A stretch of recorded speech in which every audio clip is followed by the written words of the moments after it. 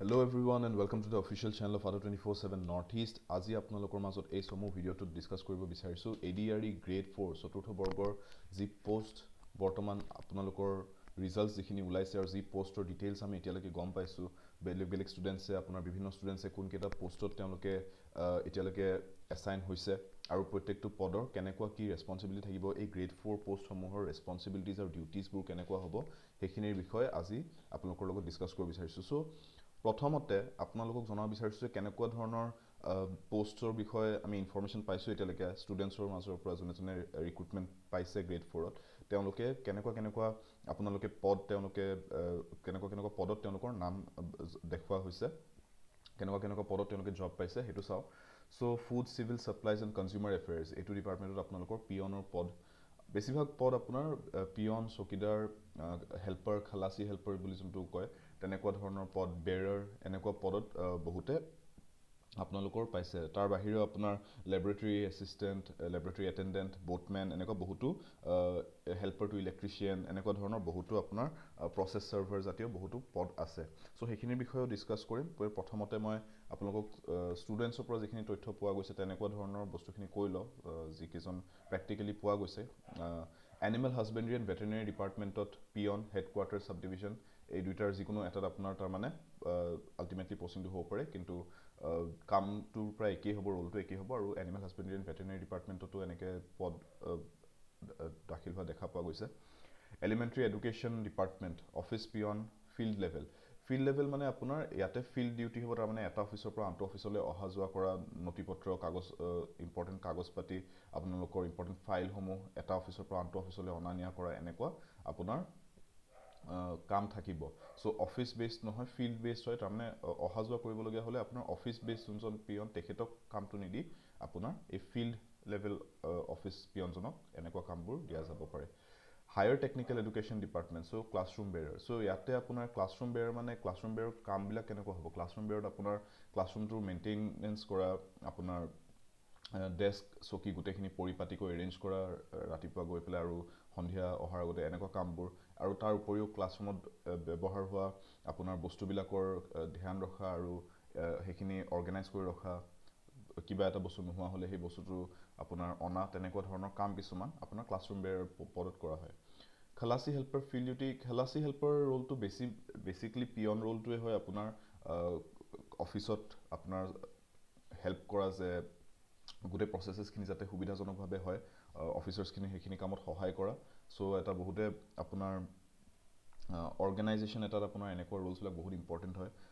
তেওঁলোকৰ তেওঁলোকৰ ভিত্তিতে আপোনালোকৰ প্ৰচেছেছবিলাক ভালকৈ চলি থাকে। চ' খালাচী হেল্পাৰ বুলি যেতিয়া কৈছে নামটো শুনাত অলপ বেলেগ ধৰণৰ লাগিলেও this basically helper field duty field ডিউটিৰ ইয়াতে আপোনাৰ ইনফৰ্মেশ্যন পাইছোঁ আমি। ফিল্ড ডিউটি বুলি যেতিয়া কৈছে এগেইন ছেইম আপোনাৰ অনা অহা যোৱা বস্তু অনা নিয়া কৰা এটা অফিচৰ পৰা আনটো অফিচলৈ তেনেকুৱা ধৰণৰ কাম কিছুমানত আপোনাৰ এই ৰোলটো মহত্ব দেখা পোৱা যায়। এতিয়া ৰোলছ এণ্ড ৰেচপনচিবিলিটিজ বা ডিউটিজ বুলি যেতিয়া কোৱা হয় আপোনাৰ বিভিন্ন পদৰ আপোনাৰ কেনেকুৱা কেনেকুৱা ৰোলছ আপোনাৰ ডিউটিজ দেখা পোৱা গৈছে সেইটোৰ বিষয়ে অলপমান আপোনালোকৰ লগত পাতি ল'ব বিচাৰিছোঁ। চাওক গ্ৰেড ফ'ৰ যেতিয়া আমি কথা কওঁ আমি cook manual assistant cleaner peon চকীদাৰ আপোনাৰ তাৰ বাহিৰে কেৰিয়াৰ এটেণ্ডেণ্ট বিভিন্ন ধৰণৰ এটেণ্ডেণ্ট লেবৰেটৰী এটেণ্ডেণ্ট হওক আপোনাৰ এনিমেল এটেণ্ডেণ্ট হওক এনেকুৱা বহুতো আমি ৰোলছ কিছুমান দেখা পাওঁ। পান পানীৱালা বুলি যে কয় পানী অনা নিয়া কৰা তাৰপিছত আপোনাৰ হোষ্টেল কুক মেনুৱেল এছিষ্টেণ্ট এনেকুৱা বহুতো বিভিন্ন ৰোলছ থাকে। এতিয়া কথাটো হৈছে যে আপোনাৰ এই গোটেইবিলাক পদত আপোনাৰ প্ৰায়ভাগ ৰোলছবিলাক কেনেকুৱা হয় সেইটো ডিপেণ্ডিং অন আপোনাৰ ৰোল বেলেগ বেলেগ হ'ব। কিন্তু ইন জেনেৰেল যিখিনি আপোনাৰ কাম থাকে গ্ৰেড ফ'ৰ পদ এটাত সেইখিনিৰ বিষয়ে আপোনালোকক কৈছোঁ। চ' অফিচ বেছড পদবিলাকত আপোনাৰ বস্তুটো এনেকুৱা হয় physical maintenance of records this is one very important task physical maintenance of records যিখিনি থাকে তাৰমানে নথি পত্ৰ ফাইল ইত্যাদি আপোনাৰ ভালকৈ পৰিপাটিকৈ মেইনটেইন কৰা। এইখিনি কাম আপোনাৰ one of the most important task হয় কাৰণ ৰেকৰ্ড যিখিনি ফাইল পাতি আপোনাৰ অফিচৰ দৰকাৰী কাগজ পত্ৰ হয় সেইখিনি মেইনটেইন কৰিবলৈ তেওঁলোক বহুত এটা ইম্পৰ্টেণ্ট এলিমেণ্ট হয় অফিচটোত জেনেৰেল ক্লেনলিনেছ তাৰমানে চাফ চাফাই আপোনাৰ গোটেই ভালকৈ পৰিপাটিকৈ অফিচটো চলি আছে নাই সেইটোৰ দায়িত্ব লোৱা আৰু আপকিপ আপকিপ মানে মেইনটেনেঞ্চ বেচিকেলি যে মেইনটেইন হৈ আছে নাই অফিচটো গোটেই বস্তু পাতি গোটেইখিনি দৰকাৰী বস্তু পাতিখিনি আছেনে নাই অফিচটোত নাথাকিলে তেওঁলোকে সেইখিনি যোগাৰ কৰা সেই গোটেইখিনি কাম তেওঁলোকে চকু দিয়া সেইখিনি বস্তুত তেওঁলোকৰ কাম সেইটো। কেয়াৰিং ফাইলছ ঠিক আছে? কেয়াৰিং ফাইলছ তাৰমানে আপোনাৰ ফাইল অনা নিয়া কৰা এক জেগাৰ পৰা আন জেগালৈ অফিচটোৰ ভিতৰতে হওক বা এটা অফিচৰ পৰা আনটো অফিচলৈকে হওক ডিপেণ্ডিং অন অফিচ ৰোল নে ফিল্ড ডিউটি ঠিক আছে? ফটো কপিং ফেক্স ঠিক আছে? এইবিলাক কাম আপোনালোকে এইবিলাক ৰোলছ দেখা পোৱা যাব। ঠিক আছে? ফটো কপিং ফেক্স এটচেট্ৰা এনেকুৱা ধৰণৰ কাম কিছুমান। ক্লাৰিকেল কাম বেছিভাগখিনি ঠিক আছে? ক্লাৰিকেল ৱৰ্ক বেছিভাগ যেনেকৈ আপোনাৰ ডায়েৰী মেইনটেইন কৰা অফিচত ঠিক আছে?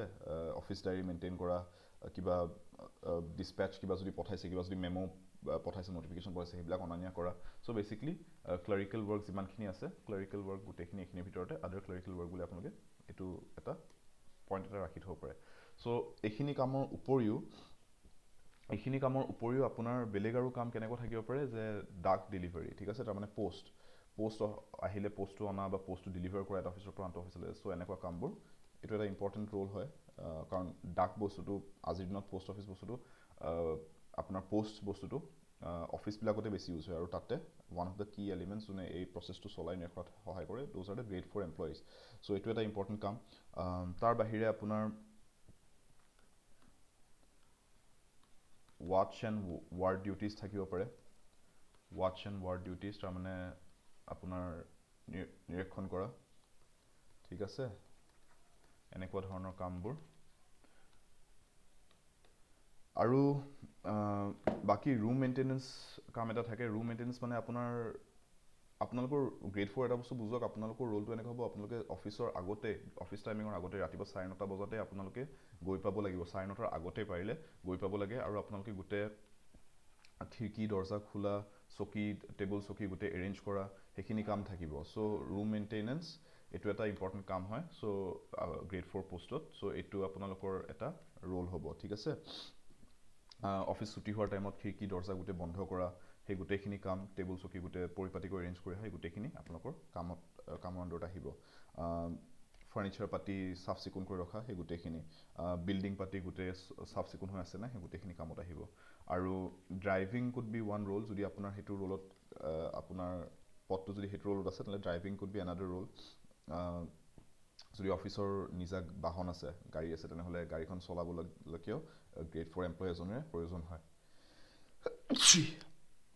Excuse me and bless me so' আপোনালোকে বাকী আপকিপ অফ প্লানছো থাকে।